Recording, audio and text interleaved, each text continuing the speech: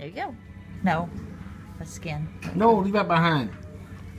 Won't bite the paper. Won't bite. Bite the bullet. Bite it. That way while she's doing it. You want some alcohol?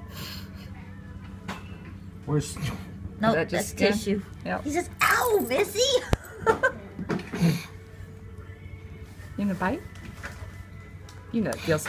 It took me to come up here to get it done, didn't it? How long have you been here? How long have you been here? Yesterday, A but day. Dr. Askew wasn't Oh, did she- here. Yeah, my fault. He was here last week when I came in. No, that's a different turtle. No, this this, this one just come yesterday. This is the man that we have the He phone can have number. That one. Oh, Big Tread will be back Thursday for his Cool. recheck. right. So I'll bring him in Friday, and we got to get the news people here. That, hey, I do It's my just job. time. All right, here's the Cherokee, Carolina. It is 8 16 2016. Uh, that little area right there. you gonna do that? Is where we just finished killing 17 maggots. That was awesome. Looks like them there. I didn't do nothing wrong. And uh, we're gonna put those in, let them grow and pupate out and become flies, and we'll see what they turn into from there. All right, so that's what that looks like there. You are part of a scientific study.